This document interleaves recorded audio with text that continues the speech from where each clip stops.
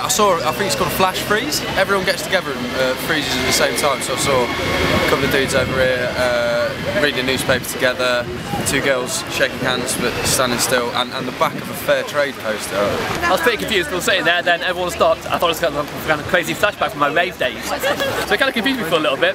We do all these stunts to enable the students to increase their confidence, skills, and they also um, enjoy doing these interactive things. Last year we went to Broadmarsh Centre and did a fame dance, which was a flash mob, um, and it gives them also things to put on their CV and to help them with, you know, their career building toolkit. It's great. It was, re- it was really, really cool. Uh, definitely caught a lot of our attention. It was quite impressive, and I think it made a point as well. Everyone seemed to be paying attention. Pierce made me laugh. Did you see the yeah.